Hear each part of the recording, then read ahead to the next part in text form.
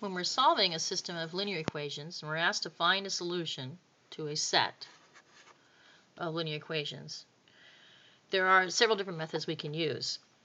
The method of substitution is one algebraic method that we can use, which basically we just do a bunch of number crunching and we'll end up with an actual coordinate, the coordinates of an actual point where the two lines cross and intersect or possibly we might find out that there is no solution because the lines are parallel and they never intersect. Or we might find out that the equations we're being given are the exact same and so therefore there are an infinitely number of um, in, of solutions because they're really the same line. So it's every point on the line that's a solution. But using the method of substitution, I'm going to model that with this set, with this system right here. I like to do this with colors when I'm working on the whiteboard in class. If we look at this equation, it's telling us that y equals all of this. I'm do this in different colors so we can see what's going on. But in this equation, in the same system here, we're also told that y equals 2x minus 1. I'll do that one in black. So if we know that y equals this and y equals that, then why can't we say that these two equal each other? So simply writing them out as x plus 1 equals 2x minus 1 gives us an equation that we now can balance out and solve for x with because there's only one variable if we move all the numbers around and in all the balanced ways that we know how to solve for x we can find out what x is and then we can plug the number in for x back into one of these equations to find out what y is.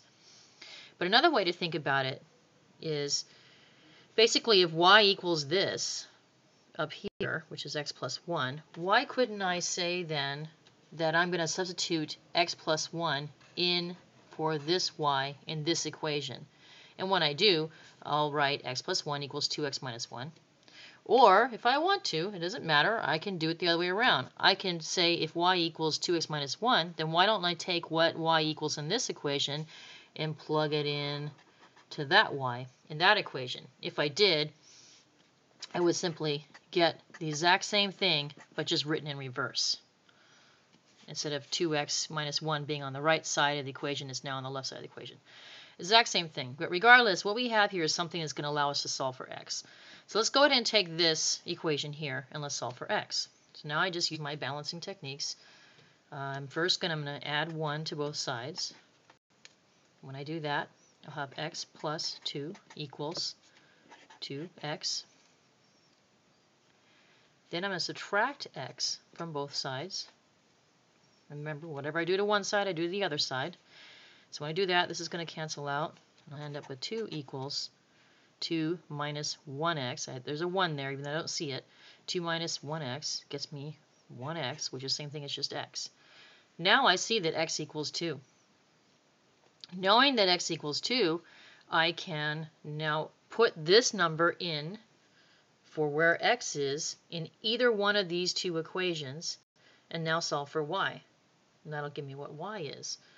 So I'm going to do that right now. I'm going to take, I'll just pick the first equation. It doesn't matter which one I pick, but I'm going to pick the first one. So I'm going to go y equals, now instead of saying x for x plus 1, I'm now going to say I know that x is 2, so I'll put a 2 in there for x. So now I have y equals 2 plus 1. Well, I know that means y equals 3. So here I found out that x equals 2, and here I found out that y equals 3. Now just to show you that it doesn't really matter which equation I use to plug this x in, I'm going to do it with the other equation now.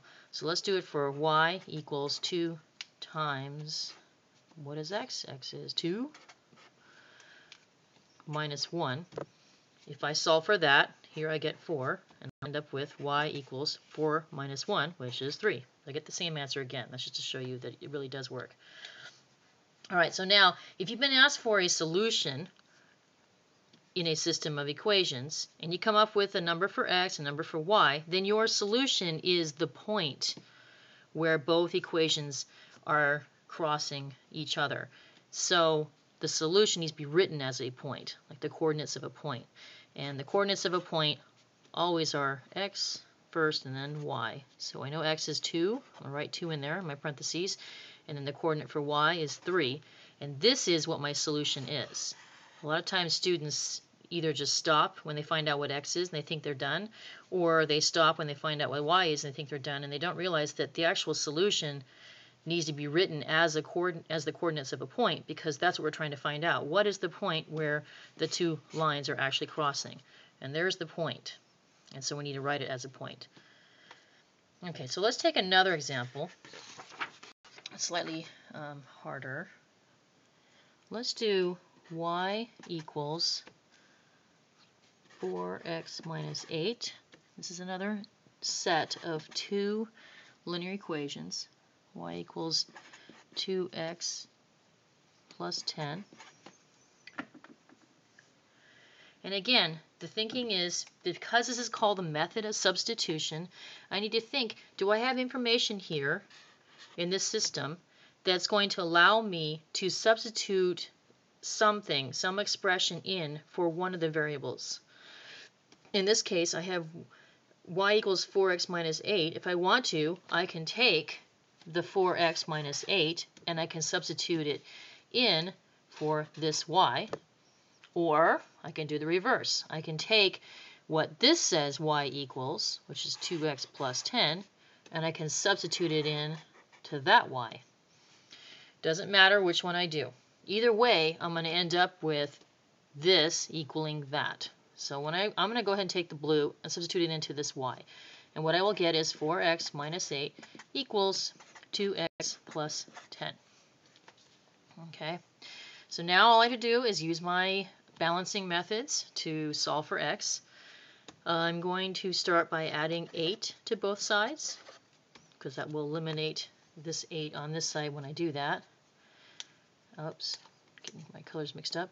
So now I end up with 4x equals 2x plus 18. And now I'm going to subtract my 2x from both sides so I can join my like terms with the x's. That will end up canceling that one out. And I will now end up with 2x equals 18. And lastly, if I divide 2 on both sides, I will end up with x equals 9.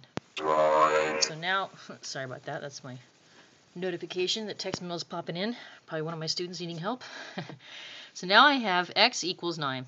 So here's one part of the coordinate that I need for the point that I know is a solution for these two equations. Now, to get to the other part, which is the y coordinate, I need to plug 9 in for x in either one of these equations. It doesn't matter which one. It'll work both ways. I'm going to pick, for the heck of it, I'll pick the second one. Um, so now I'm going to write y equals 2 times 9 instead of x. I'm now writing 9 plus 10. I'm going to continue solving. I'll get 18 plus 10, which means y equals 28. So now that I have my two coordinates for the point, my actual solution for this system of equations is 9, 28. And this is what I would call. This is the point that if I actually graph these two lines on the graph, this is the point where those two lines would cross through each other at that one point. Okay, so I'm going to give one last example of the method of substitution. And this one is just so you can see there's different ways of substituting parts of one equation into another. What if you were given these two equations as your system? Here we see that y equals something. But down here we don't see that one variable equals the rest. What we see is 2x plus 2y on one side. So when I'm substituting in this particular problem, what I'm going to want to do is take this, because this tells me what y equals, and plug it into that equation. And what that would look like is simply, I'm going to take this equation now, 2x plus 2, x minus 2 equals 4. And then I can continue solving until I get I'm going to hurry this up because my 10 minutes are almost up. 4x equals, I'm going to add 4 to both sides, get 8, and then x equals 2. So it's just a slightly different way of seeing the two equations, but can you still substitute one into the other?